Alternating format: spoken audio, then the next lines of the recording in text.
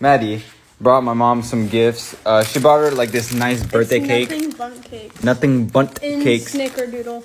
You know. Ew, don't mess it up. Sorry. And then she got her this. I forgot. I think it was like a knife set, right?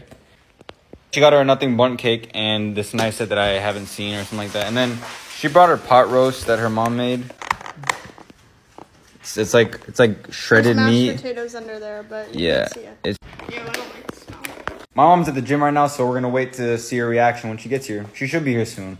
So yeah. Oh. Ah! What the heck? Mari! I didn't see her card. Mom, Wait. Oh my god. that's, that's pot roast Oh yeah, from her, made, from her mom. We made that for dinner, but I brought you some. Oh. Oh my god, it smells good. That's snickerdoodle.